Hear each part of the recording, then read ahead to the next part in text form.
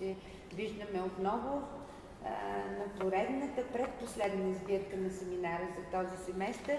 Днес има много събития, много откривания, включително сигурно сте видели тук за колегите, които не са се информирали случайно, че лекцията на бившия архитектурен куратор на МОМА Педро Гаданю, който в Университета за архитектура, строителство и геодезия също има лекция интересна. Съжаление, не може да присъстваме навсякъде. Така че много ви благодаря, че сте дошли отново тук, за да продължим нашата работа. Само няма да представим, тъй като и Дора не ми е предоставила особена информация за себе си. Много скромно ми е изпратила само това, което вие сигурно сте видели на сайта, че е магистър на Берлинския технически университет, че е архитект в момента в DJI Бауберг. Бауберг, Берлин и, и че основното, заради което сме я поканили, по която причина сме я поканили и много и се радваме и с респект към нейните инициации и усилия да ни представи тя и като ръководител на инициативата на проект Бузлужа, която цели опазването на паметника.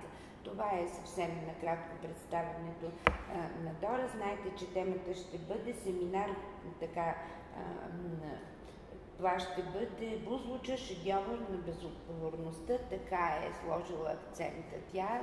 Ще видим защо е на безотговорността. Аз се извинявам, че говоря седнала, но това е заради микрофона. Не ми е привично да говоря седнала. Ще се опитам и в тази роля да, да кажа няколко думи. Струва ми се задължително няколко въвеждащи думи защото темата Бузлуча е много проблематична тема. Ако говорим, както в центъра на нашия семинар е културно наследство в като имаме предвид и презентирахме и представяхме преди всичко проекти и паметници и художествени експозиции, които са свързани с близкото минало или с времето на социализма Знаете, че да се проблематизира този период все още е доста трудно, дори в академична среда. Убедихме се и тук, въпреки че в наш, нашия семинар разговорите са спокойни, аргументирани, понякога емоционални, което им придава цвят, но по принцип да се проблематизира този период е доста трудно. Когато става дума пък за паметник като Бузлуча, който изцяло се свързва с историята на Българската комунистическа партия, започнала твърде отдавна, от 1891 година, една дълга история, един дълъг период, всичко свързано с комунистическата партия, както в годините до Втората световна война, така и в годините на управление на комунистическата партия, когато тя е водещ фактор и основен и единствен като изключваме все пак една партия, която има доста по-бледо присъствие или по-символично присъствие в политическия живот след края на системата, края на социализма. Знаете колко, говорихме вече няколко пъти по различни поводи, колко трудно се коментира на вече периода и наследството от период. Затова аз намирам за много важно и, и за много смело и за много отговорно това, което Дора е започнала като магистърска теза, която тя ще ни представи и след това е развила като проект. Струва ми се, че от една страна това е проблем.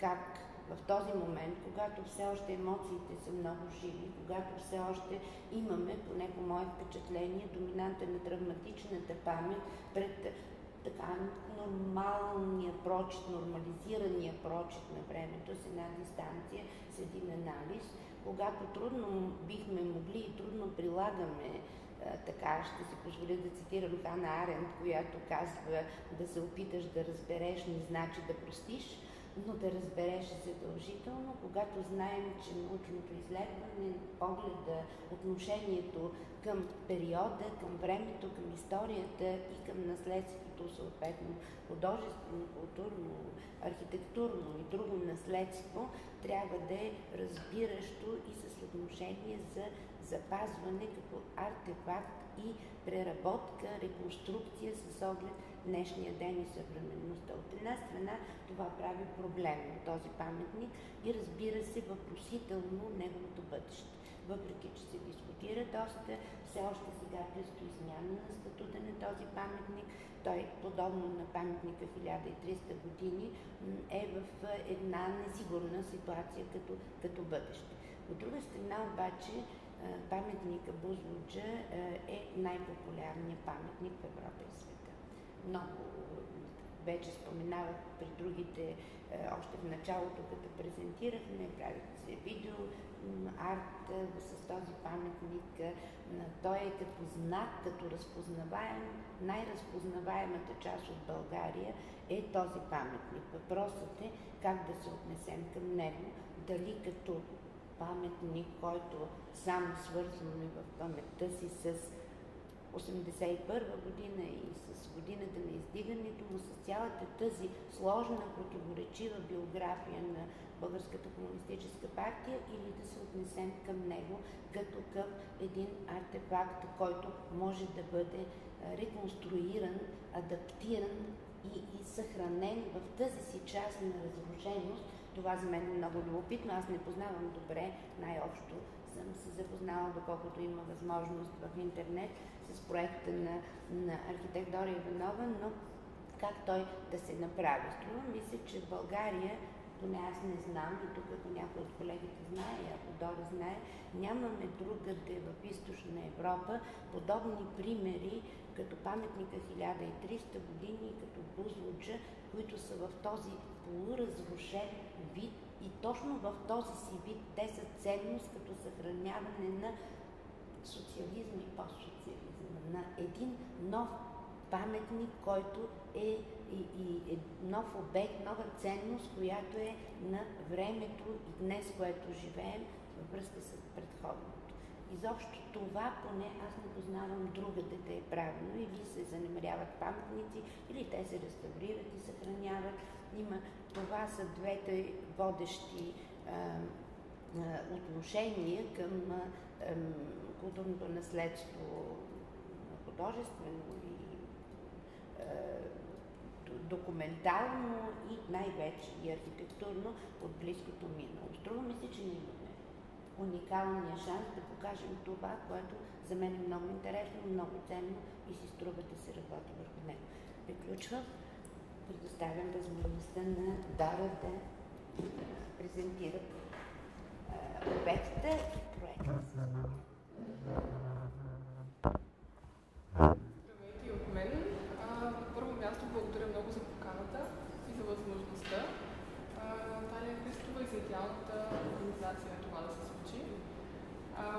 радвам се, че такива събития има в България, защото съм изцяло убедена, че имам огромната нужда от тях, а именно в университетите, в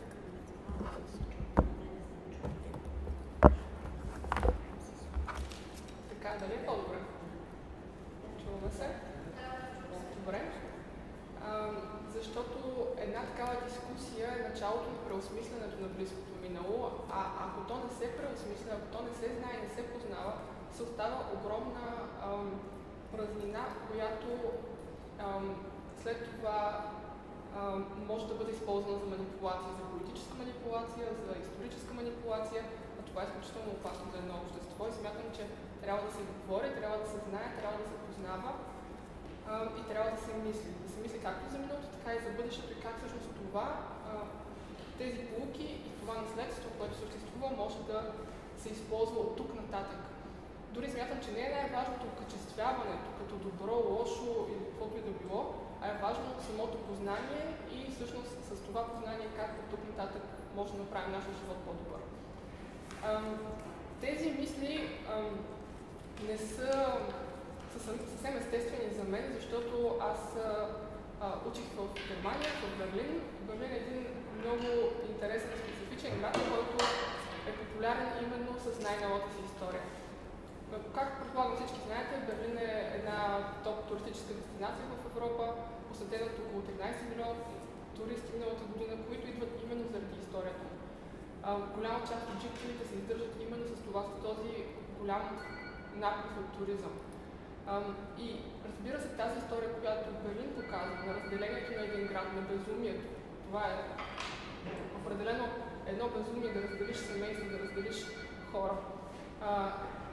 Но те успяват да, да го показват, да го представят, да го преосмислят, да го изследват и да го ам, схематизират в музеи, в институти, в, чрез фундации. А, това според мен на първо място, както казах, е изключително важно за информирането, ам, информирането на хората и на второ място, както виждаме, то генерира туризъм, генерира приходи и а, може да бъде изключително полезно наистина за определена местност или дори град. Обратната ситуация, в която миналото не се а, обсъжда и не се говори, защото е тежко или трудно, а, освен а, възможности за манипулация след това, оста, разпределя хората в крайности. Крайности в смисъл носталгия а, в едната част и озлобление от другата част, което а, наблюдавам в България и което е изключително тъжно. И именно чрез разговори това може да бъде променено. Та, всъщност аз как сама се а, запознах с паметника, това се случи преди точно 3 години, когато за първ път посетих това място. А, дори един германец ме попита дали знам, че имаме такова НЛО в България и след това отворих снимки в интернет, които надявам се да може да видите тук сравнително изключително впечатляващи снимки в интернет пространството, които карат хора от цял свят да се заинтересуват да дойдат специално до България. Аз самата, както всички останали хора, бях изключително изумена и впечатлена от самия паметник. И още на самия момент знаех, че това ще е кауза, с която ще се занимавам в едните години. А, защото за мен а, е недопустимо един такъв паметник да бъде изоставен. На първо място заради своите архитектурни качества, защото все пак съм архитект и за мен е изключително важна самата самата архитектура, самото постижение, което е направено от най-големите български инженери, архитекти и професионалисти тогава. Изключителен ресурс, който е вложен на върх планината и наистина тази проблематичност, който, която носи паметника а, с а, неясното минало, което трябва да бъде табу. Това табу трябва да бъде премахнато и да говорим. Затова нека да започнем с историята на това място. А, всъщност исках да попитам в самото начало колко от вас са били на паметник? Колко от вас са били на самото място?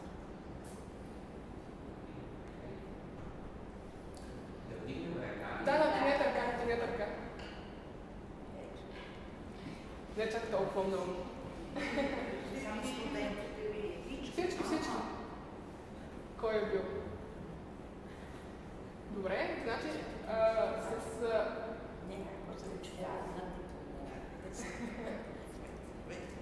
Значи тези, които са били, да, младсинството знаят за какво става въпрос и не е нужно много да се обяснява. Според мен всеки, който е бил на това място, е докоснат от него. А, той има изключително силна, силен заряд.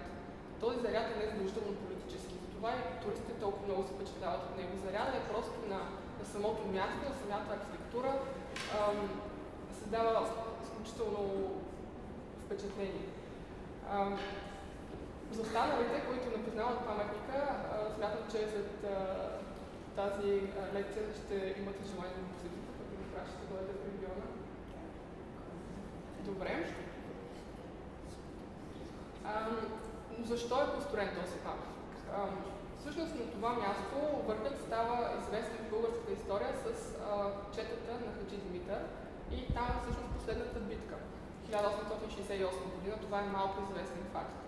В последствие е, а, Димитър Българ основава Българската социал-демократическа партия точно на това място, съвсем умишлено, защото възприема партията като и движението в този момент, като наследник на революционерите, които се борят за не само свобода от османска власт, а свобода от монархията. А, и в последствие 1944 година има партизански отряд, който се пребивава на хижата Бузлуджа и а, в а, а, бой загиват трима партизани в него. Това са трите събития, които са важни за това място и а, с тях всъщност започва след това инициативата за построяване на паметници. Под всяко от събитията може да видите съществуващите паметници на Хаджи Димитър, на Конгреса и на партизаните. Те са на самия връх около а, паметника Бузлуджа. А, и целта още 59-та година е била да се създадат три такива паметника, плюс да се постави петлучна звезда на върха на, на, на, на връх Има архитектурно състезание, което е спечелено от архитект Георги Стоилов, но трите паметника по-малки се построяват, но не и самия паметник по случая, заради неговото нещата. В последствие започва нова инициатива на, партията да се построи паметника, но архитектът променя сградата. В първоначалния си вид тя представлява само една звезда върху колона, но в промяната на, на, на архитектурната планова архитектът добавя ритуалната зала и създава всъщност една сграда, което е а, ценно за нас днес, защото сграда, този паметник не е просто един символ, той е сграда, той е архитектура, която може да бъде използвана и за други цели, не само за символични и партийни. Виждате в чертежите става въпрос за ритуална зала с а, две окръжности, върху които са, а, ето, видите, върху които са мозайките. В подземието има обслужваща част и пилона е с символът, заради който е построена сградата, потолъчната звезда, която се е виждала от изключително далеч, тя е била и осветена. Сградата е финансирана от обществени дарения, всъщност 15-16 милиона лева са били събрани а, за изключителен кратък период от време. Тези пари са били достатъчни за построяването на самия паметник. Държавата или партията в случая добавят останалите 10 милиона за комуникации и инфраструктура в региона, т.е. общо 25 милиона струвала сградата на България, а, което към, ако мога да си позволя да го изравня към днешна дата с възможно най-грубо така изчисление, това са около 10 пъти повече. Може да говорим за около четвърт милиард, които са вложени в тази сграда, които след това само за 8 години са захвърлени и се разрушават. Построяването е изключително постижение. Строило се 7 години на, на планинския връх, 7 години строителите са живели на този планински връх. Имало е 500 човека от строителни войски, които са били постоянни строителен екип. И освен това, изключително много а, доброволци а, и допълнителни работници, общо 6000 човека са участвали в построяването на сградата между които разбира се най-добрите български инженери, архитекти, а, строители и а, хора на изкуството, разбира се, с, самата мозайка. За да се построи сградата, планинския връх е свален с 9 метра. Това са 15 000 квадратни, кубични метра скала, които са премахнати да се поставят основите. Това е причината паметника да стои днес, защото има изключително стабилни основи. 70 000 тона бетон, 3 000 тона стомана. Това е конструкцията в цифри. И наистина 7 години труд. Трудът е бил в 3 смени, така че никога не е свършила смяната в месеците от май до септември, защото само тогава е можело да се строи и денонощно се е строяло. Откриването е на 23 август 1981 година. Изключително тържествено от самия Тодор Живков, разбира се. Сградата е използвана до 89 година за специални събития и партийни, разбира се, за предоставяне на партийни книжки. Посрещали са се братски партии и делегации на това място всъщност само с предварителна заявка може да се влиза в паметника и се е влизал на всеки кръгъл час. Групите са били от около 500 човека на всеки час. Това прави около между 2 и 3 милиона души, които са посетили паметника за кратките 8 години, в които той е съществувал. Това е една статистика, която се надявам да може да видите. От 59-та година е решението да се построи строи такъв паметник. 1974 година започват строителните дейности до 81 когато е открит, 89-та спира неговата функция и 92 година той е удържавен, което е критичната точка до него, защото с удържавяването се ам, приключва договора на последните работници, които са, са там. Те са разпуснати. С а, този акт всъщност паметник остава безнадзорен и а, покрива, който от Меднала Марина е разграбен почти веднага, което е причината за разрухата в последствие. Следващите събития са а, въпросите с собствеността. 2011 година Българската социалистическа партия поиска собствеността на паметника, като веднага след това правителството я предлага, но до днешна дата всъщност няма отговор от страна на БСП дали ще приеме паметника или не, което прави бъдещето развитие на проект или на каквато и да е дейност, свързана с паметника, изключително сложно. Както виждате, всъщност почти 50% от живота на паметника е днешното му състояние, именно разрухата. Състоянието на паметника от една страна е изключително окаяно. много от хората или от медиите казват винаги, че той е напълно разрушен, унищожен и така нататък.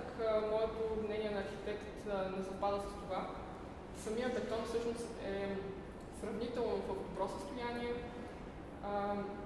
Разбира се, липсват различни плоскости, различни покрития, но, например, стълбищата са конструктивно здрави, фундаментите са, на място и в добро състояние. И най-важното, може би, покрива, който е изключително важен за конструкцията, също е удивително. И удивително е това, но в добро състояние ще може да бъде използван. Дори направихме сега миналата седмица оглед с а, а, присъствието на инженер. А, от новострой Живко Желязко се казва, той, той направи, за първ път има такъв оглед а, инженерен на, на конструкцията. То той потвърди, че покрива ще може да бъде използван и че ще може да бъде запазен. Това, което ще се разруши в най-скоро време са мозайките. А, те, те са на отделна конструкция, която в близките няколко години ще се разпадне и е въпрос на изключително кратко време да бъдат напълно ликвидирани мозайките. А тук става въпрос за около 1000 квадратни метра мозайка. Тук може да видите снимки преди и след, но поради лошото качество просто ще преминем напред. Това е самата мозайка, за която говорих. Във вътрешния кръг тя е изработена от изкуствен камък, смалт, 510 квадратни метра, 60 майстора са работили над нея. Изключително постижение, изключително е, че до ден днешен самата мозайка е цветна и в много добро състояние. С изключение на липсващите бели петна, които виждате тук, около 20% останалата част има реалния потенциал да бъде опазен, да бъде запазен и да е използваема и до днес, т.е. Да, да привлича интереси до днес. Външната мозайка няма тази участ, тя е изключително разрушена. Над 50% са разрушени от нея, тъй като се намират директно зад а, прозорците, през които влиза, липсващите прозорци, през които влиза сняг, дъжд постоянно. А, и това е причината за нейното изключително разрушение и избледняване. Това е самата сграда. Бих искала да обърна и малко внимание на контекста, в който тя се намира. А, както госпожа Наталя Христова спомена, тя е, може би, всъщност не може би, тя е най-впечатляващия символ на този период. Дори над български, въобще на целия източен блок на, на, на монументалното изкуство от този период. А, в България има много други монументи, които имат подобна участ и които а, имат подобни проблеми, а които са, с изключителен потенциал също да бъдат опазени, да бъдат интересни, да бъдат използвани, да бъдат отново част от градската среда или от туристическата мрежа. Смятам, че за да се прекрачи този, бих казала, ментален прак и разбиране, че тези сгради могат да бъдат използвани, че тези сгради имат потенциал, смятам, че е нужен пример. разбира се, важно да се работи в различни посоки, смятам, че именно чрез един такъв изключителен пример, като паметник от Бузлуджа, би се направила съществена крачка в а, а, приемането и а, социализирането на този тип сгради, този тип изкуство. Освен това, средата, конкретната среда на паметника Бузлуджа в случая е изключително богата на, на културен туризъм и на съществуващата къста туристическа мрежа. Както знаем, там е паметника на свободата Шипка се намира само на 15 минути от Бузлуджа и той е изключително посещаван, изключително а, функциониращ. А, смятам, че всички туристи от Шипка, от долината на розите, на Таркишите царе, на а, Етара, също изключително функциониращ и успешен обект, биха имали интерес да посетят и един паметник по-различно време, именно паметника Бузлуджа. Но проблемът е отношението. Отношението а, на първо място, а, надявам се, че виждате, е, че чинията трябва да излети и да замине за някъде. А, това за радост или за щастие не може да се случи, затова мисля, че трябва да намерим решение тук или на място. А, мненията варират изключително силно. А, в началото на паметника пише Forget Your Past, правете миналото си, в момента пише Never Forget Your Past както и Enjoy Communism в дясната страна на, на входа. Пъстри и разностранни са е, отношението. Мен лично ме радва, че има отношение и че а, все пак буди такъв интерес самия паметник. Това е стъпка напред и стъпка за това да, да се говори и да се мисли в тази посока. А, всъщност самия паметник привлича изключителен туризъм на това място. Той дори спечели за 2015 година сертификат от TripAdvisor. TripAdvisor предполагам, че знаете, че е най-големият сайт за туризъм в света. А, и, този, и, и всеки, всяко туристическо място в света се, се бори за такъв сертификат. В случая TripAdvisor не знаеше и нямаше никого да изпрати сертификата си. А, в отговор на големия туризъм и туристически интерес на това място имаше а, над 100 човека всеки ден които пътуваха от цял свят специално до България, специално до паметника Бузлуча, за да го видят. Това отговора на този изключителен интерес беше затварянето на, на вратите, което е доста логично, защото самия паметник е изключително опасен и съществува реален риск за живота на своите посетители. Те обаче винаги намират начин да влезнат, да направят нова дупка, да срежат по един или друг начин прегражденията. И силно се надявам, че няма да чакам момента, в който ще се случи нещо неприятно и нещо опасно, за да се действа в тази насока. А, но туризма е факт. А, туризма е индикатор също така за мен. Защото ако ние тук на място не можем да преценим, че този паметник е ценен, то, то определено в чужбина, само чрез една снимка има изключителен ефект. Ако се покажат, може би, най-интересните места в България и се попита един турист кое е място, което би посетил или кое е място, което, ам, заради което би си купил билет за България, то това е Бузлуджа, дори да не си вярва друго място. И ам, това трябва да бъде използвано и това трябва да бъде преосмислено тук в България. И тук идва въпроса, добре, ако искаме да използваме тази сграда и да не рискуваме живота на хората, които я посещават така или иначе, то трябва тя да бъде обезопасена и по някакъв начин използваема. Вариантите са два. Тя да има допълнителна функция или да бъде просто музей на себе си. Аз подкрепям и двете, двете посоки.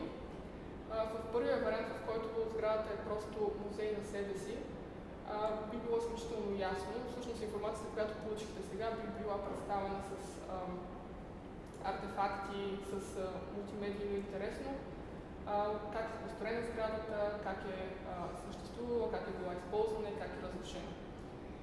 А, този вариант е изключително удачен, смятам аз, но а, среща а, различни реакции, защото мнозинството от хората смятат, че сградата сама по себе си не е интересна, че сградата сама по себе си няма какво да представи и не би предизвикала интереса на по-голямата част от българите. Все пак смятам, че трябва първо на местно ниво и в България да функционира един такъв обект и след това на международно ниво. Та в този ред на мисля бих искал да проследя възможностите които сградата има допълнителна функция. Най-логичната допълнителна функция би била музей на комунизма, т.е. сградата, освен артефакт за себе си, да представя историята на периода на комунизма в България, като а, да представя по различен начин. Тоест, в, примерно в а, залата може да бъде представен този период от гледната точка на комунизма, т.е. комунизма за себе си или съответно възпала комунизма.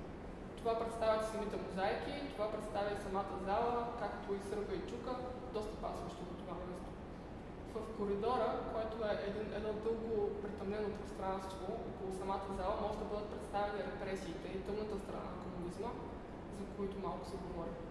В външната част може да се представи ежедневието, всъщност самото, самата външна част а, с мозайките представя различни социални аспекти в а, периода на социализма и то може да бъде доразяснено и представено. Разбира се, идеите марксизъм и ленинизъм могат да бъдат а, а, показани и последствията всъщност след края на социализма, какво се случи, как се случи, защо се случи. А, един такъв музей на комунизма смятам, че е изключително нужен за България и а, би бил изключително полезен. Например, в Берлин, както казах, има такъв музей, ГДР музей се казва, той е посещаван от над половин милион човека всяка година. Много успешен, много интригуващ и не будещ никакъв срам или притеснение. Така че се надявам и в България да, да имаме възможността да, за, такъв музей. Въпросът е колко години все още ни трябват, за да преодолеем комплекса сграда, ние може да имаме годините, но тази сграда няма тези години. Сградата трябва да бъде реставрирана максимално бързо, защото, както казах, е въпрос на изключително кратко време, мозаиците да бъдат тотално унищожени. А, а заедно с тях е голяма част от вътрешността на сградата. А, затова за начало оставила тази идея на страна а, и искам да покажа и други идеи.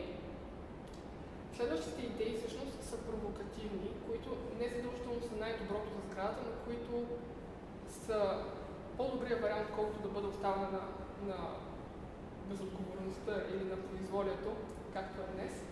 А, това е концертна зала, може да се превърне паметника Бузлуджа, дори в ресторант и клуб, защо не, или в спа хотел.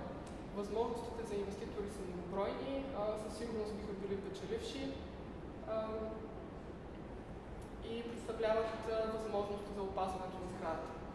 Разбира се, това не е най-правилното отношение към паметник на културата, а, така че искам да продължа към същинското предложение, което беше част от а, моята дипломна работа. Бузлуча паметта на времето. В а, това предложение паметника се запазва в актуалното си състояние. Това е изключително важно, особено тук става въпрос за символите, които са вътре в паметник. Символите са мозайката а, и звездата. Разбира се, че липсващите покрития трябва да бъдат а, възстановени или че а, нарушенията на бетона трябва да бъдат също възстановени, но смятам, че символите не трябва да бъдат възвръщани в първоначалния си блясък. Защото това би било, би било един грешен жест какво би означавало да има червена светеща звезда на върха на планината и какво би означавало да има златен чук на покрива на една внушителна сграда. Смятам, че сами може да си отговорите на този въпрос и смятам, че много трудно би било прието от по-голямата част от българите едно такова, една такава реконструкция. също така смятам, както видяхме, 50% от времето паметника е разрушен. Той не е случайно разрушен. Отношението на хората и на цяло поколение е свързано с тази разруха и смятам, че тази разруха е част от историята на мястото и трябва да бъде запазена и трябва да бъде част от бъдещето на, на мястото. Моето предложение а, се състои от а, две времеви линии. Всъщност, целта е да се представи един по-широк спектър на българската история. Не само социализма, а едно разгръщане и емоционално преживяване на цялата българска история.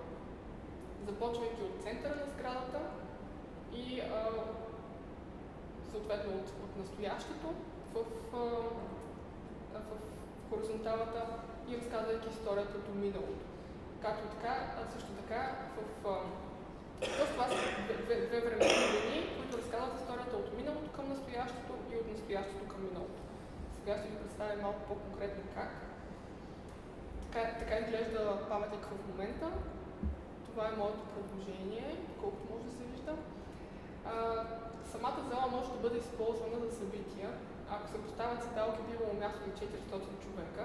Тук не става въпрос за голяма концертна зала от национално ниво, а за местен, местен форум. Форум за изкуство и история. Всъщност това е и мотото на, на, на самия проект. Ако тази страна може да се превърне в един форум, в който да се говори а, за, за периода на социализма, в който да се дискутира миналото, било то едно по-широко минало и цялата история на България, в който да се водят класовете в часовете си по история и да виждат на живо всъщност част от а, един артефакт от българската история. Смятам, че това би било най-подходящото предназначение на тази зала. В нея, освен това, са представени, е представено и настоящето. Чрез седалките, седалките всъщност са една своеобразна алея на славата. На, на тях са изписани имената на заслужили българи от най-новата история на България. И всяко а, ново събитие или всяко ново постижение на България в областта на спорта, на науката, могат да бъдат допълвани по този начин сградата да живее в настоящето и да продължава да пише историята на България. Следващия период, периода на социализма, е представен, разбира се, чрез мозайките. Мозайките, както споменах, смятам, че не трябва да бъдат запазвани, но трябва да бъдат разбрани. А, чрез моето предложение архитектурно конкретно е чрез а, двоизмерна скулптура от тел, празните бели места да бъдат а, запълнени и контурени, за да може да се представи периода на социализма, за да може да се разбере смисъл на мозайките, като разбира се надписите и обяснения ще бъдат критични а, и разясняващи този период.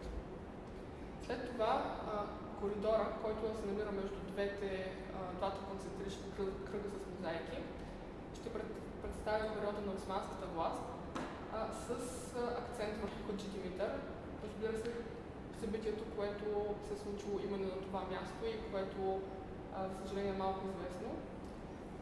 Тук ще, може, ще може да бъде представен а, един също така критичен поглед над тази част.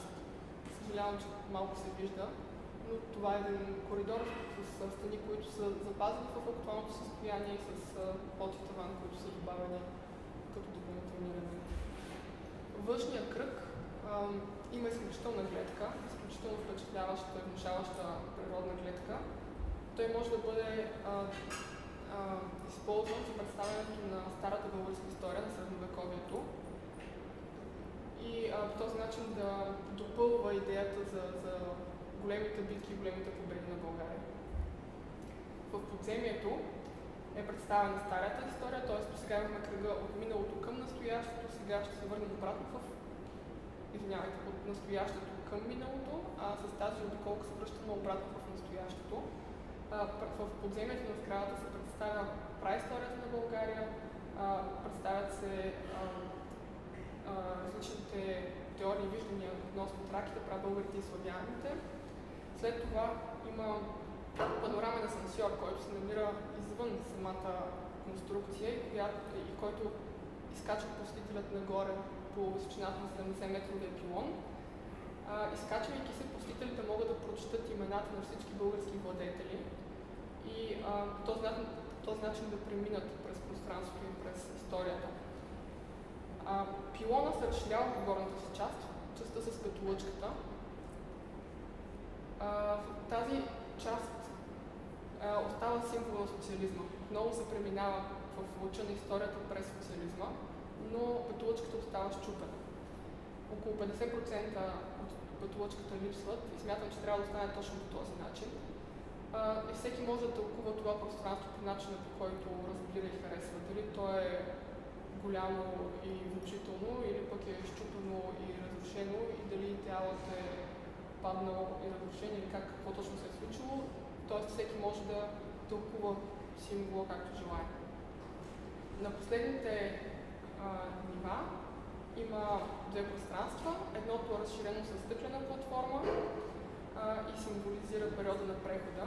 То е насочено на изток и запад и а, показва преориентирането на държавата през това време. А стъклената платформа, освен една интересна атракция за туристите, подпомага и подсилва усещането за страх и нестабилност в периода на, на прехода. Отгоре на, на върха на 70-метровия пилон има тераса, 360 градусова тераса, която а, връща посетителя в реалността. Всъщност това е България днес сега, реално и визуално и дава една изключителна гледка над билото на Стара планина. Това е самия проект. А, разбира се, неговата интерпретация може да бъде съвсем а, свободна. Това е аз гледам на този проект като на едно предложение, на една възможност.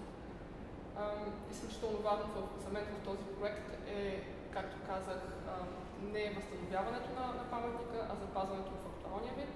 И смятам, че един такъв асансьор панорамен би дал възможност на много повече посетители да, се, да, да, да посетят паметника и да се вдъхновят от, невероятната гледка, която предлага това място.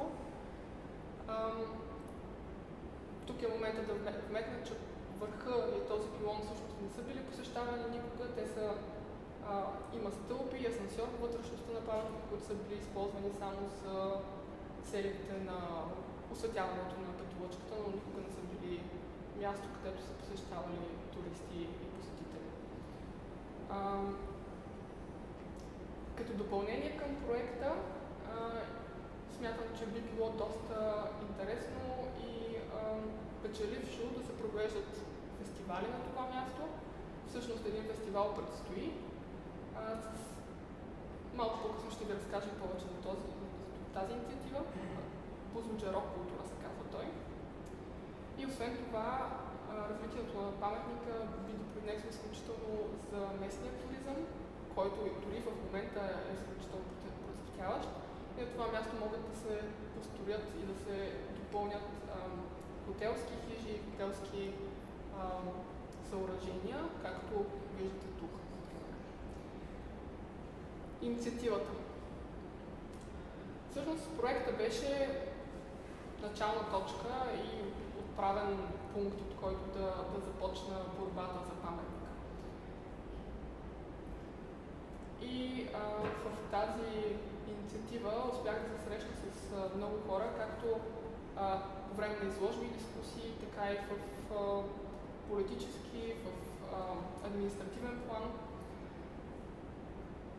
В близките две години, всъщност 2014 година към края се дипломирах с този проект и а, в последните две години а, работех за инициативата проект изуча, т.е. за опазването на паметника по един или друг начин. Разбира се, за това бяха необходими изключително много дискусии, разясняване и разговори в тази посока. Това направихме в, в рамките на тези изложби. Те започнаха от София, преминаха през околността около самия паметник, Габрово, Стара Загора, Казанлък, Монтана, моя роден град. Също така и в Ласъга в София имаше изложба. Конференции организирахме в Брюксел, в Европейския парламент, дискусия с експерти от а, 7 европейски държави, в която паметника Бузлуджа беше централна точка и централен акцент. Всички експерти, разбира се, потвърдиха неоспоримите качества на паметника и потвърдиха, между другото, че паметника заслужава да бъде част от ЮНЕСКО, към който ще се върна също малко по-късно. в Прага миналата година по това време беше представен проекта на 12-та среща на българските медии в Берлин на кръгла маса относно социалистическото наследство а, и на различни а, форуми в България. Последните инициативи, които а, организирах са в изложбата в Казанлък. За първ път тук в Казанлък успях да представя изложбата на самия площад. Смятам, че Казанлък е място най-чувствително темата и най-засегнато от състоянието на паметника днес и най-разбиращо проблематиката. Освен това, в, през есента, през септември направихме и форум, изложба и дискусия в НДК тук в София. Разбира се, публичността и представянето на проекта са изключително ценни и важни а, за преосмисленето, но идва и въпроса за финансирането. най-възможно и най-реалистично е финансирането на проекта чрез европейски средства, които би биха били по а, оперативна ОС 6 регионален туризъм, където паметника все още има шанс да кандидатства и все още може да, да бъде финансиран по този начин. А, тук проблемът обаче би бил, че той няма статут на паметник. Като а, фундация проект Бузлуджа внесе преди години и половина а, запитване и предложение паметник да получи такъв статут, но до ден днешен няма резултат, за съжаление. И няма напредване по този въпрос.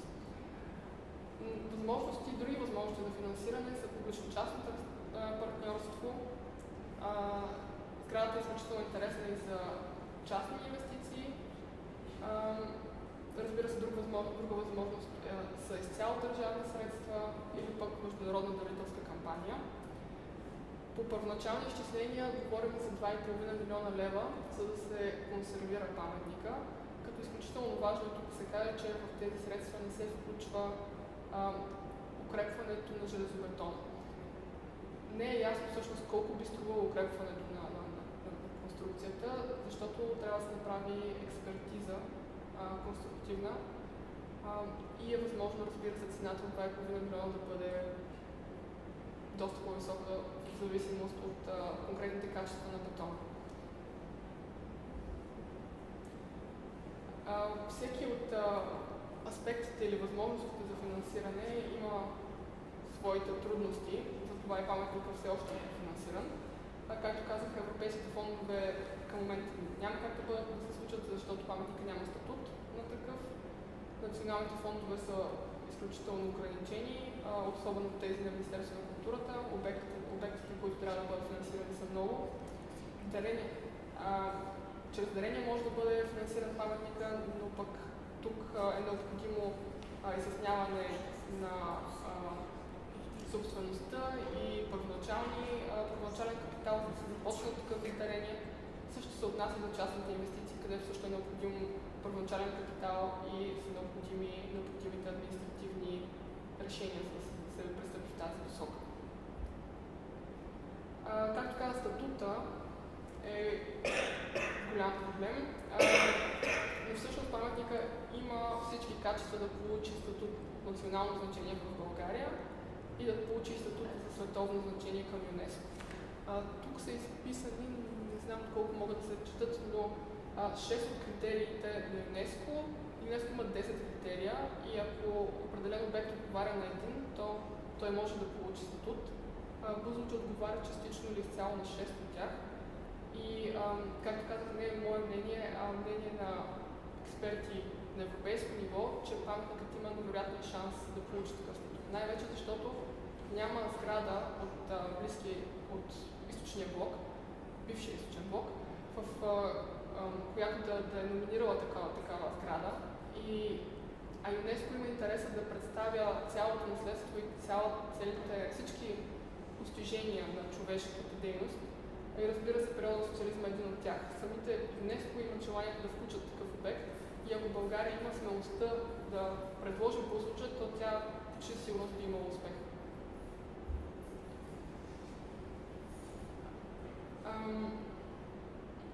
Бизнес план, освен административните трудности, които среща проекта, разбира се и финансовите, е важно да се представи и възвръщаемостта на един такъв проект.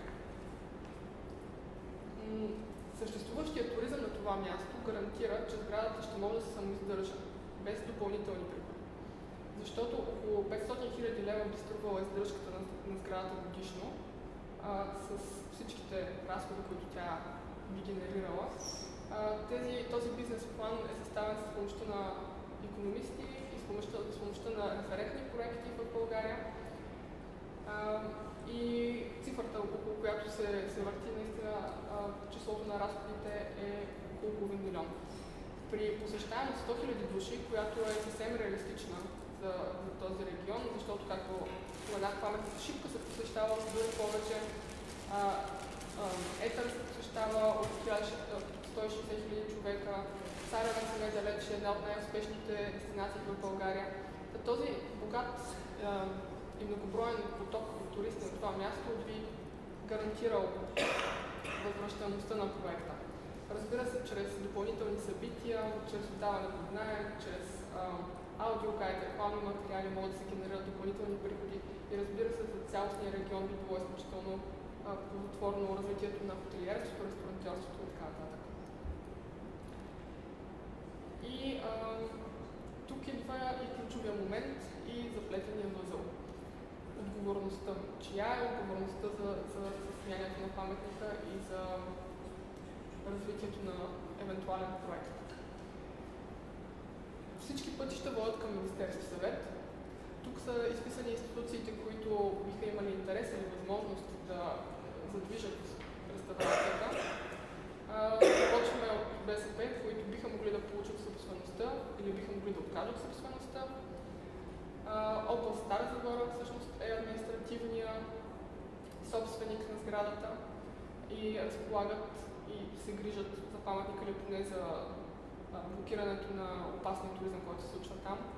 Община, община Казанлък, градът се намира на територията на общината. Самата община всъщност е един от най-тесните партньори в инициативата, която провеждам. И а, търси също начини да се стабилира сградата, да се опази сградата. Министерство на културата и Министерство на регионалното развитие. През тези две години, през които се занимавам с проекта, видях едно, така, извинете ме прехвърляне на топката на отговорността. И аз разказвах навсякъде как Бузлуджа е един архитектурен шедьовър и един а, инженерен шедьовър, но след тези две години бих казала, че Бузлуджа е един шедьовър на безотговорността, както се казва. И а, темата на лекцията днес.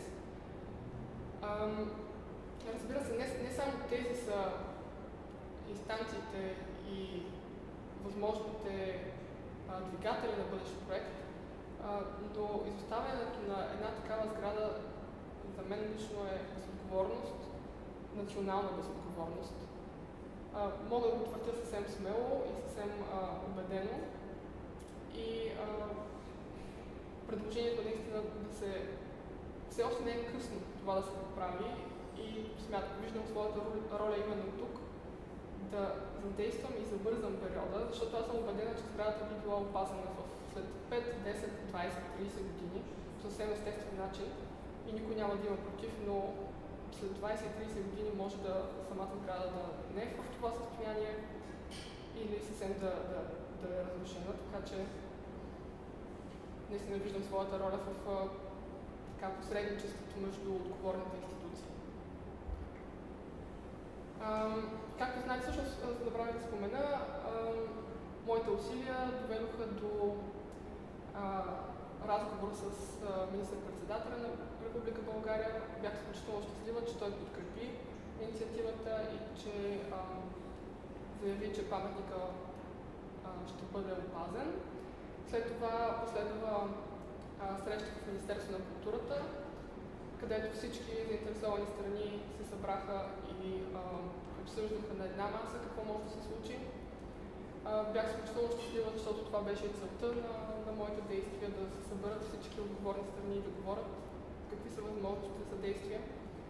За съжаление, веднага след това последва политическата криза в България и за съжаление нямаше към кого да се обърне, нямаше как да се продължи проекта. През това време успях обаче пък да включа паметника и неговата проблематика в изданието Heritage Risk за 2014-2015 година. Той а, на всеки две години към ИКОМОС, която е световна организация за опазване на паметниците на културата. А, за първ път от доста време насам български а, паметник или обект е включен и а, това би запознало професионалната колегия и специалистите по опазване на наследство с проблематиката в България. Преди един месец излезе на това издание. Втората инициатива, за която а, работя е World Monument Watch 2018 година. Това е номинация за най-застрашените места в, или обекти в света. Фундацията е американска и помага на различни обекти а, да бъдат опазени. Ако паметника бъде включен в тази а, класация, той би имал достъп до много по-широка публика, а евентуално дори и финансиране. Можем само да в края на годината ще се знае дали ще има успех. Другото, което, а, с което продължаваме инициативата, тъй като вече има правителство, има нова ситуация политическа и се надявам а, инициативата да продължи и ще работя за това. А, новото стартиране на инициативата продължи с а, 3D сканиране на сградата, което извършихме с а, съдействието на фирма Metrisis. Те съвсем безвъзмезно сканираха актуално състояние. Предполагам, знаете, че е проблемно а, липсът, проблемна е липсата на чертежи, липсата на документация на мястото. И а, сега успяхме да се снемем чрез облак от точки. Казвам сега в края на миналата седмица. А, с облак от точки да снехме сградата и в момента имаме цялостните обеми и състояние на сградата, върху които ще могат да се създадат чертежи. С 3D скенер и с професионалното съдействие на, на, на, Метрисис успяхме да, да създадем това, което е реално съществена крачка към а, задействането на проекта. И както обещах, за финал а, е Бузлча рок култура, тази инициатива на местни а, хора от Казанлък ще популяризира по един друг начин паметника, защото сме да го гледаме в политически контекст. Тук контекстът ще бъде култура и рок. И на 8 юли на самия паметник ще има концерт а, с а, 4 рок групи. Може да се включите, аз също ще участвам. И а, тази визия, която имах от своята дипломна работа, че Бузлуджа може да бъде място за култура, място за фестивали, място за а, концерти, всъщност ще бъде осъществена, за което съм много щастлива. И в финала искам да ви благодаря за вниманието. Повече може да научите на сайтовете на, на проект Бузлуджа, на български buzlujaproject.com и на английски buzlujamonument.com. Може да ме намерите винаги на имейла на фундацията buzluja.project.gmail.com или разбира се да, да се свържете директно с мен. Искам да ви благодаря, че а, се включихте в а, сте тук, защото смятам, че именно а, чрез млади хора именно чрез хора, които се интересуват от тази история, която е забравена, а, така безотговорно забравена, а, това може да се промени. И да, искам да ви поканя за, за въпроси, дискусия, мнения, отворен съм към, към а, всички ваши коментари. Колеги, си повядайте. Тук видяхме много привързаност проекта си, към паметника. Тя е, освен е подходила професионално, много емоционално подхожда към това. Много приятно впечатление прави, че усилията ви не стигнат, има успехи, има препятствия, но вие твърдо сте решили, че ще направите това, което зависи от вас, търсите самишленици, за да се съхрани това, което е останало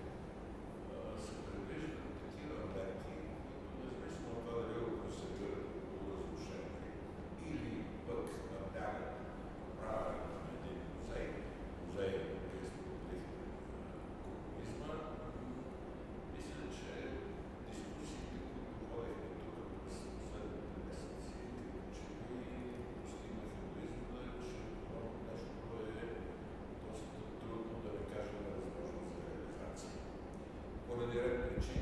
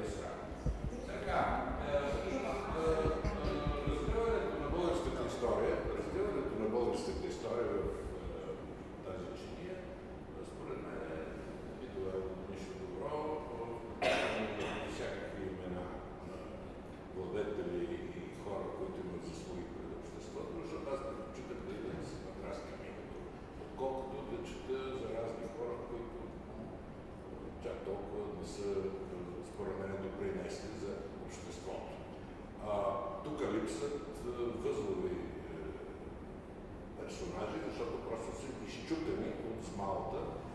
Доколкото знам, това е ликът на Тодор Шивков. Не знам кога е положение в момента с Макси Ергелс, но така или иначе тук се вижда едно своеобразно историческо обращение, което бих казал придава чар на паметник и предизвиква, както Интересно би било да се попитат тези хора за какво идват. Аз, за речем, имам нагласа да отида и да видя колко е разрушен паметничан. Не друго.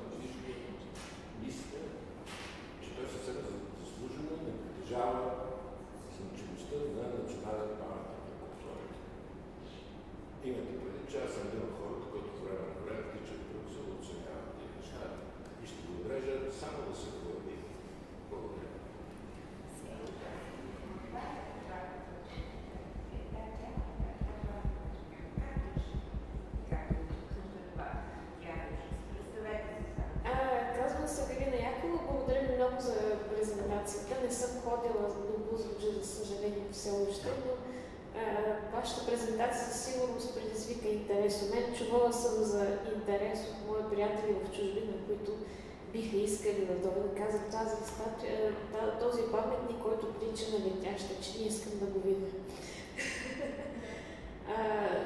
интересни идеи разисквахте във връзка с това какво би могло да се случи. Вие преди малко не чу вашето име, също представяте да, вашата идея. За мен предполагам, че има и други паметници, които имат доста противоречиво отношение извън нашата страна, в други държави. И доста често, когато има някаква идеологическа символика, за да може едно нещо да придобие някакъв нов символ, трябва да му някакво ново значение.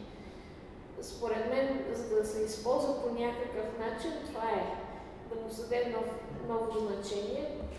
Не знам, кръглата форма, според мен е много добра символика, с която може да се използва като завършване на различни цикли. Например, това, което вие споменахте за различни периоди от историята, би могло да се използва по друг начин, като различни гласове от българската история, като съответно могат да се правят различни а, мероприятия и културни, и исторически, и антропологически, както и евентуално могат да се водят и конференции на това място.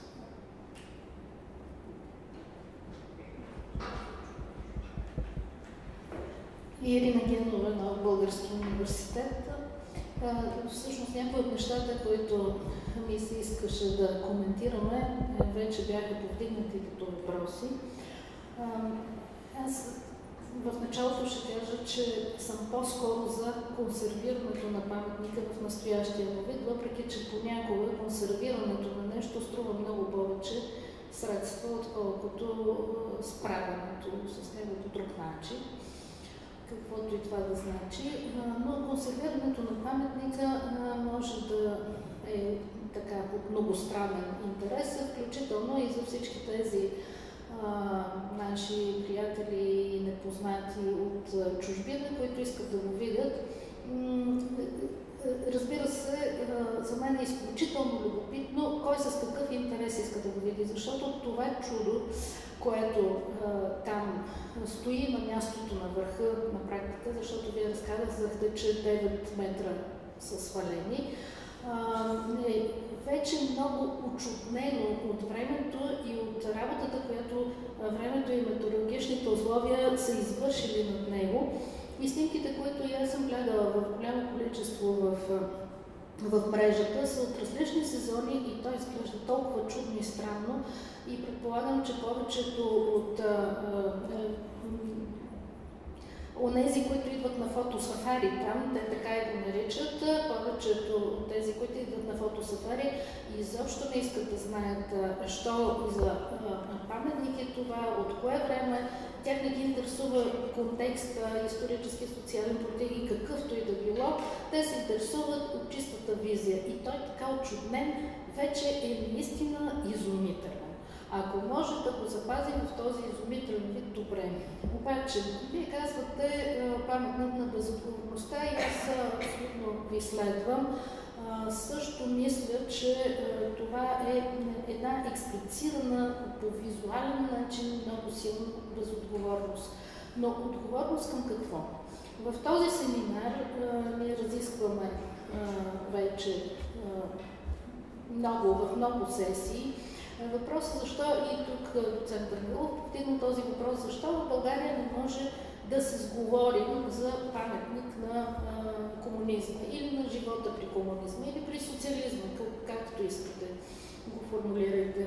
Тук в това общество и различните му общности не можем да достигнем до консенсус за това как да бъдат представени тези истории. Все още има много истории и вие много добре го показахте в тази, в тази а, това разволяване на въпроса за собствеността на този паметник. Защото Българската социалистическа партия ту го иска, ту не го иска.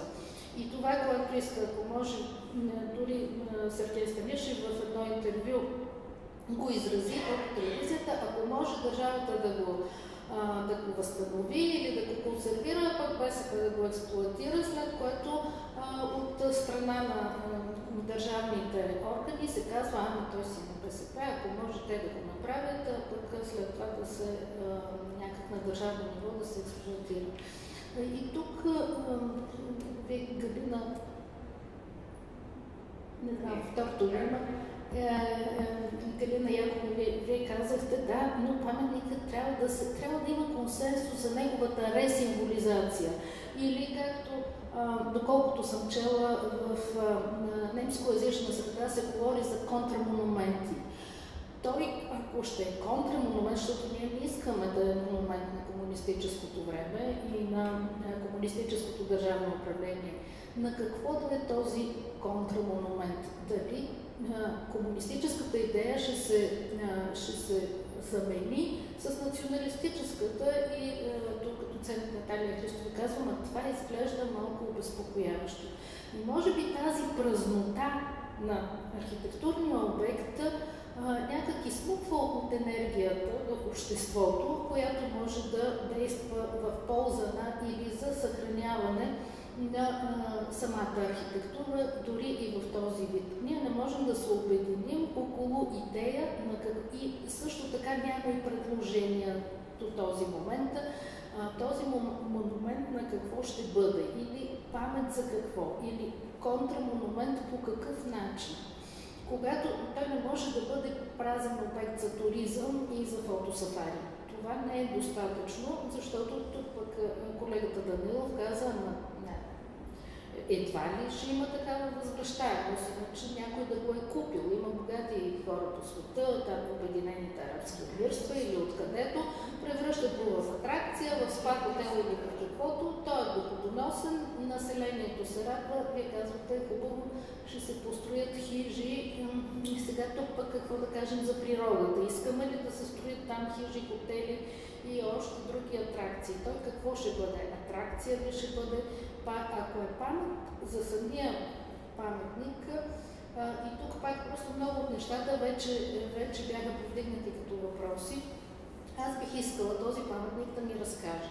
Откъде са мобилизирани по това време, края на 70-те години, когато нашата държава изпада в економически затруднения, те вече са разказани от економистите, откъде са мобилизирани толкова много средства, с които да се изгради този паметник, по какъв начин а, някаква, да кажем, прослойка, арт-прослойка, художническа, вие не споменахте нито едно име от а, майсторите, от авторите на мозайките, не майсторите, които са над 600, но има художници, които са изработили тези проекти за мозайки и те не са малко. По какъв начин това художническо съсловие, сред което има, те са звездни, само най-добрите, казахте, художници на времето, но те имат альтернативно творчество в полето на живописта. Да кажем, един художник, ето тук имаме чудно хубава малка колекция, като Иван Кирков, също участва. Тази история на мен е много интересно а, да я чуя и да ми бъде разказана. И тук вече ще открием цялото двусмислие в полето на културата и управлението на културата на онова управление, тя може би ще бъде интересна. Но кой ще застане зад желанието и волята тъкмо тази история да бъде разказана? Тук вече ще се разпадне консенсуса. Туристическият може да събере много хора, но печалбата не е сигурна.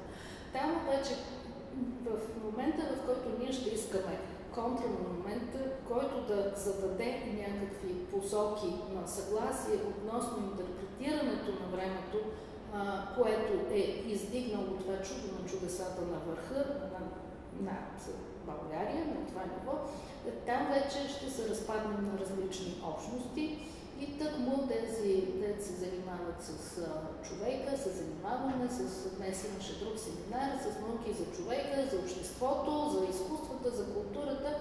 А, няма да сме в никакво съгласие. И може би а, на този терен вече ви, вашите усилия действително са гигантски и не можете да съберете различните, различните посоки.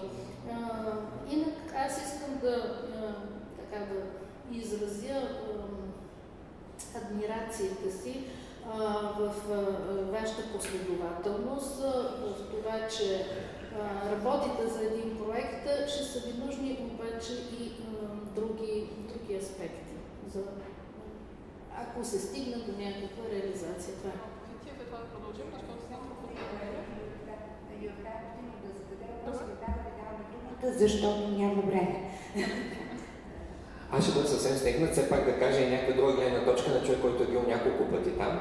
Аз съм убеден, че шедьовът на безотговорността е напълно невярна. Точно обратното е според мен. Съвсем съзнателно БСП а, доволства от а, този вид на паметника, защото има огромна полза от това. А, в първите месеци след а, политическата промяна антикомунистите излязоха с едни карти на концлагерите комунистическите, смятаха, че това е много важен момент.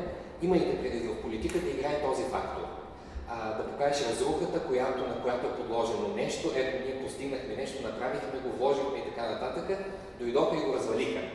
А, в тази разруха а, БСП всяко лято, там на 1 август, събира някакви около 30 до 50-60 хиляди души от региона, за да им покаже какво са направили а, с това, което те са построили, така да се каже. Така че според мен е съвсем съзнателно БКП и наследниците й поддържат тази разруха и за това и не искат да вземат. Те, че нямат ресурс, нямат, макар че може биха могли пред партията на европейски социалисти да пледират и така нататък, но те имат полза да показват разрухата. Това е лично моето мнение.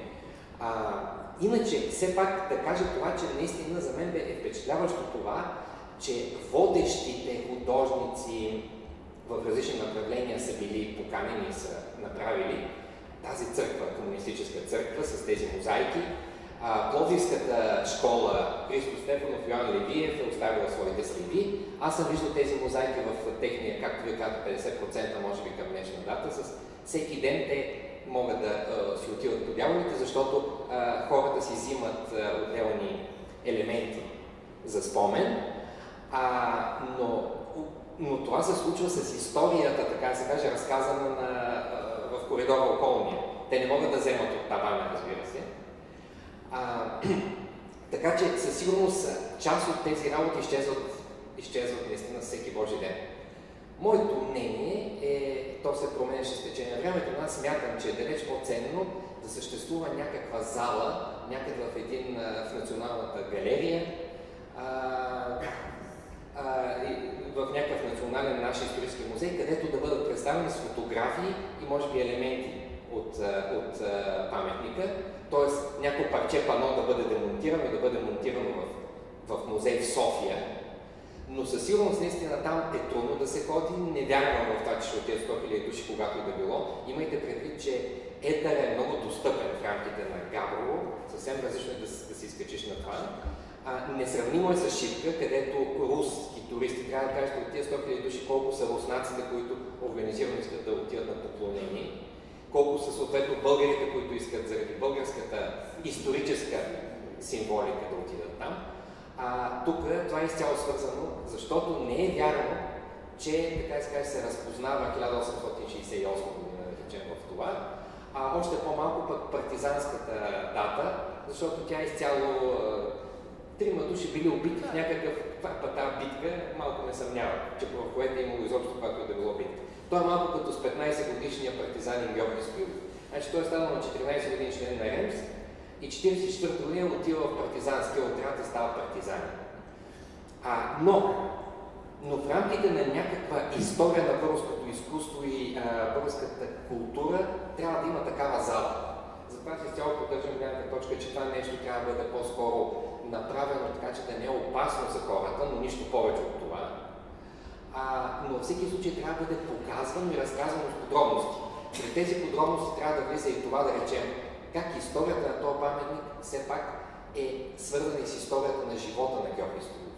Той е кмет на София между 67 и 71, когато този паметник се решава да се строи, той вече е министър на благоустройството и архитектурата, Междувременно е член на ЦК и, до, и 73-та година става и а, шеф на, а, към ЦК на архитектурата към ЦК.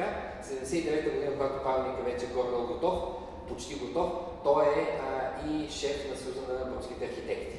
Председател на Съюза на българските архитекти. Този паметник е изключително добро, а, така се каже, в него се оглежда като, като едно магично кълбо а, връзката между власт, а, изкуство, архитектура. А, така че това, този разказ трябва да присъства, но, а, но някъде другаде. И не знам, аз не съм архитект, но все пак ми се струва, че може да се разкаже и архитектурата на, на, на този ансамбъл, а, наистина в контекста на, примерно на мен ми се струва, че има някакво бегло влияние на, примерно, Нимая или нещо този, но адски бегло, адски далечно. А, и, и, и, и, или на Франко Латрайт в къде беше? В...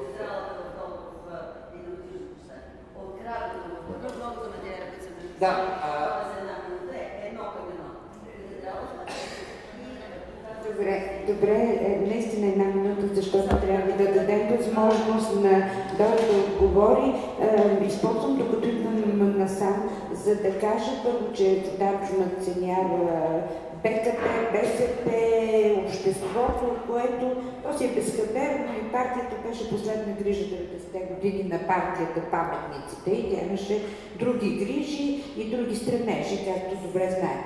А, а другото, аз се, тъй като няма да взимам повече думата, само ще закрия, смятам, тъй като тук няколко мнения се чуха за преднасяне, аз съм твърдо, пак повтарям това, което казах в началото, за консервация, запазване, обезопасяване, запазване в този вид на този паметник и смятам, че е, трябва те първо да се мисли как, какво да се прави, но не за разрушаването, както пропо е, Боркус и за 1300 години. В този вид паметника 1300 години изглежда много добре и е много символистичен за нашия соци, по-соци и безкрайен соци.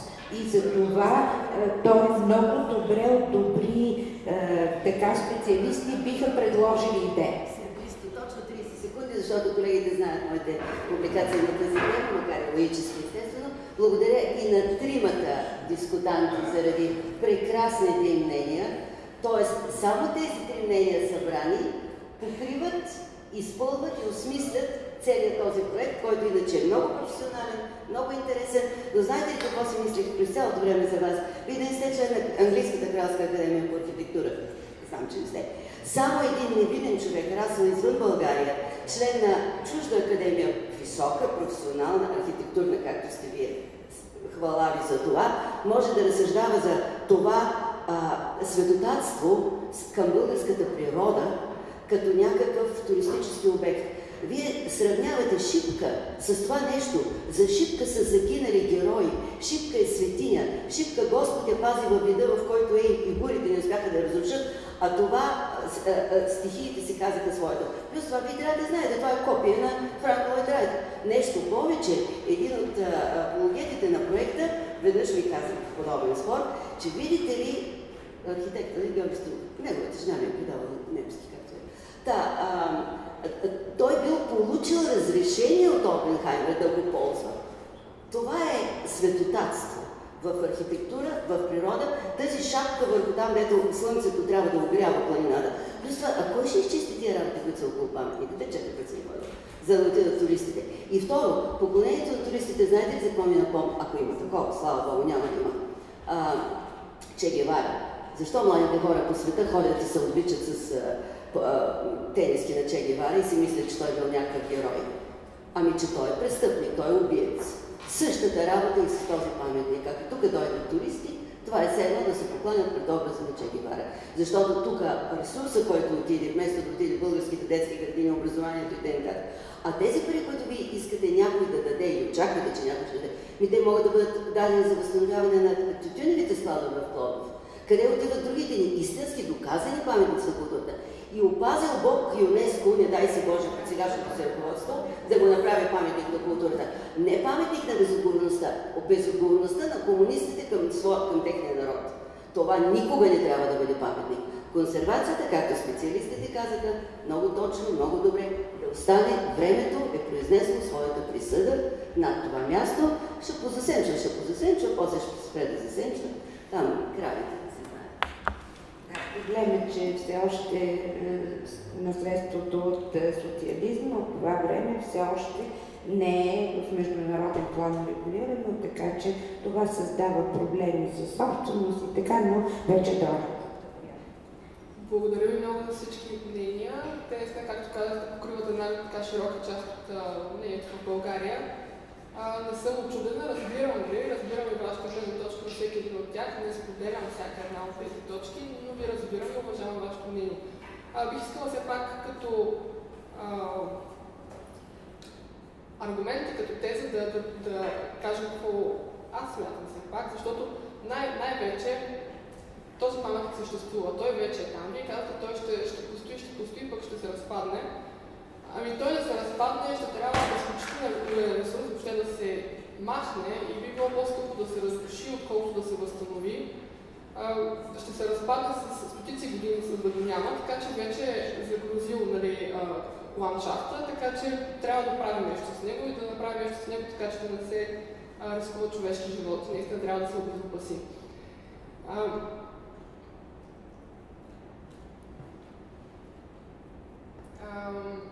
А тези пари, които са ви събрали на вас от, от заплатата тогава, те вече са ли ги събрали? Вие искате тези пари да ги хвърлите и те да не съществуват и, и да ги загубите, и искате тези пари да бъдат използвани. Да, но вече са ви взели парите, нали? Насилно са ги взели. И тези пари към днешна дата могат да носят пари, могат да носят не срам, не позор, а могат да носят, примерно, някакво осъзнаване, да са символ на осъзнаването, са символ на това, че да, тези пари са похарчени, примерно похарчени са безотговорно за нещо излишно, но а, ние към днешна дата се опитваме да направим най-доброто от това. А не да че може да се реновира така, че да стане печелившо това мероприятие. От всяка, както и да го гледаме, на мен ми изглежда много трудно. Казвам, че друг аргумент беше точно, нали, че шипка, шипка посещават руцинации. Същите тези руцинации биха се интересували изключително много паметника Те, разбира се, имат афинитет към цялата тази история и толкова колкото към руско-турските освободителни войни, точно толкова може би сигурно и повече към социализма и към а, нали, периода социализма, в който те са властвали. Така че смятам, че същите тези туристи биха имали много голям интерес да посетят именно паметника Булджа и точно това е благодата в този регион. А, също така бих се върна, върнала към мнението, че сградата е тривиална. А, това много ме обезпокои. Смятам, че тривиална е последното, което може да се каже за сградата. Тя е уникална, различна и единствена. Тази църква, която е на Франко Прайд, тя прилича по някакъв начин, но всеки архитект може да каже, че винаги каквото да се сътвори на този свят ще прилича на нещо друго. Това не означава, че е копирано, в никакъв случай не е платено за това. А, разбира се, има кръгли и свърчени архитектури в света, но точно такава няма, няма как да е тривиална. И претенциите, като споменахте, че градът има претенции, точно към днешна гледна точка град няма никакви претенции. Хората ходят заради снимките, не защото някой нещо твърди или някой нещо а, рекламира, маркетинг или каквото и да било. Никакви претенции няма тази сграда. Тя сама със себе си, със собствената си форма и със собствената си история привлича тези хора. Имаше въпрос с какво ги привлича. Ами да, точно с визуалните си качества, разбира се, на първо място, но и с историята. Много хора посещават мястото заради неговата история. Има различни руини, форми, и... но те виждат именно в тази руина история. Те виждат следата на времето. Как времето променя определен обект и как историята запечатва или измива и премахва следите си. И в това те виждат някаква романтика някакъв а, интерес към към точно тази руина. Питала съм много тези хора, добре, ако тази сграда се обезопаси и вече нали, бъде използваема, дали биха посетили паметника и биха имали същия интерес? Да, биха имали. Разбира се, не ако стане лъскав монумент на БСП или не знам точно какво, но ако се запази именно тази нотка и този, този а, този допър на, на времето и на историята, то сградата би била интересна и би продължава да привлича хората. Наистина тук е мястото да се обезопаси. смятам, че дори най-важното наистина да се обезопаси. Вие също казахте, че бихте отишли да видите до каква степен е нарушено. Но като идете да го видите, е много вероятно нещо да ви падне, да, да ви се случи, да се спънете и да ви падне нещо на главата и така. Така че смятам, че трябва да се обезопаси за всеки различен интерес, дали той е визуален, исторически, негативен, позитивен. А, е тази града да получи просто покрив, остъкление и да бъде достъпна. Разбира се, не съм далеч от мисълта, че сега ще има един проект и този проект се случи така, както аз си мисля или който друг архитект си мисля. Това е въпрос на една много широка дискусия. Темата е почти безкрайна, има различни мнения по въпроса. Моето, моят принос е да дам една провокация, една искра, която да запали интереса на още повече хора и която да предизвика дебата и общественото мнение и интерес по въпроса. Защото само преди няколко години темата беше забравена. Някак си имаше някакъв монумент там на върха, никой не знаеше точно за какво, освен че има събори на БСП през август. Така че интереса, мнението и, и говоренето по въпроса ще продължат, разбира се, но от тогава трябва просто да се спре разрухата. Това е най-важното, към което се стремим. Наистина пропускам.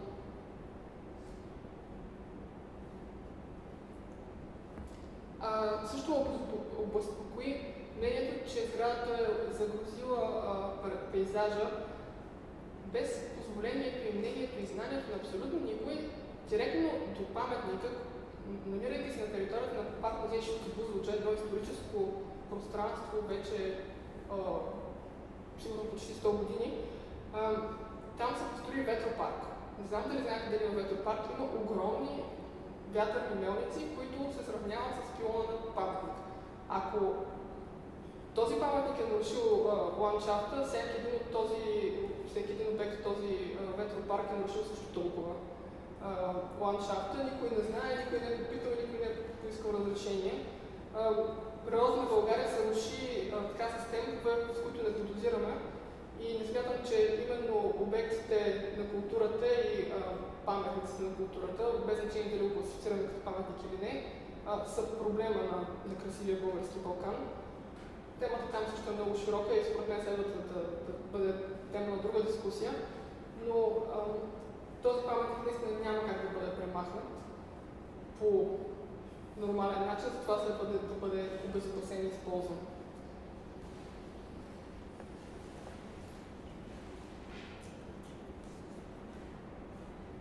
А, а за логиката, на, че, че не е паметник на безотговорността, а е паметник съвсем умишлено стоящ в тази ситуация, в тази разруха, не мога да твърдя, нали, не, нямам представа дали а, това има истина в това твърдение или няма, но за мен като гражданин и като, бъл, като българка, за мен тази лойка е неразбираема. А, аз смятам, че това е един паметник наистина на България, който трябва да следва нашата лойка, не лойката на определена партия или определени, определени идеологически така, приеми. Дори да е така, наистина не разбирам такъв тип логика и а. Моята логика, че съществуващото трябва да се използва по възможно най-добрия начин и дискусията трябва да продължи. И защото а, като честно казано, а, на мен се ще България да е едно място, което оценява това, което е създадено преди и която а, държава, която а, има последователност. А, а какво ще се случи с сградите, които са построени днес, ако се промени а, властта и след а, 20 години вече не харесва на сегашната власт? Пак ли трябва да разрешим всичко? Всеки път ли трябва да разрешим всичко да почнем от начало? Трябва да има някакво, някаква последователност, някаква перспективна мисъл и се надявам, че България може да бъде такава държава. И всъщност работя за това, защото и а, искам да живея тук. А, надявам се, че с хора като вас а, това може да бъде постигнато и щом сте тук, щом се интересувате от темата, аз имам надежда да продължавам, без значение какво е мнението, каква е точно вашата теза. А, за мен е изключително ценно, че, че вие тук се събрахте, че говорим по темата и че а, дискусията продължава и всъщност започва, защото тя е наистина нова дискусия от последните, последните години. Благодаря ви, благодаря ви много. Аз също от името на всички благодаря на Дора, че дойде, презентира обекта, презентира своя проект. Наистина смятам, че този дебат е важен. Темата за културното наследство в риск, в случая пак припомням, ние говорим за наследството от времето на социализма, но то се отнася и за предходни периоди, и за следващи периоди, ако щете от началото на прехода до днес, от съвсем нови периоди. Тази тема е много важна и заслужава дискусия. Аз много подкрепящо се отнасям към усилията на Дора с презентирането с избор на тази тема за магистърска теза, с развитието на този проект, с усилията, които полага и пак предлагам друг път на други места пак да продължи този дебат за запазването, реконструкция, първо консервация и после проекти за включване на тези паметници съобразно днешните ни визии, естетически и, и житейски, ако щете, в публичната среда. Мисля, че пак мое мнение, че е, паметника Бузлуча и паметника 1300 години при цялата идеологическа натовареност, проблематичност в паметта като памет и отношение на създаване и пост трябва да бъдат обект на професионален дебат и проекти. Още веднъж, Дора, много ви благодаря, че дойдохте и ще ви подкрепяме усилията за продължаване на дебат по тези важни теми. Благодаря. Благодаря на всички вас, колеги, и до следващия път на 13.